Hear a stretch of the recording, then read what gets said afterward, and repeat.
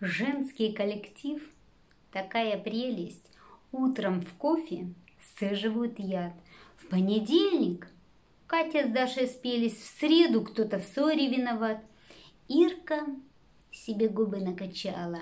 Вслед за ней Наташка собралась. Волосы обрезала сначала, а потом наращивать взялась. Все худеют. В плошечках капуста, счет ведут калориям своим. Вечером пельмени варят шустро. Дома ведь не видно остальным. В офисе всегда девичье царство. Хоть бы мужичонку завезли, но директор – феминистка Марта. Ее храм – не место для любви.